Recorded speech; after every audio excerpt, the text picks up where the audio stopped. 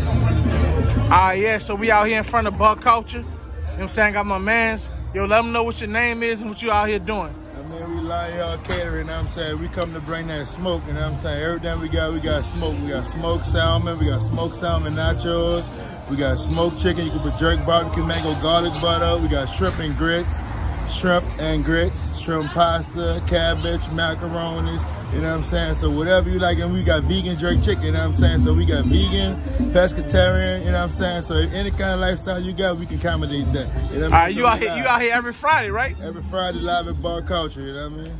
Appreciate it, man. Thank you.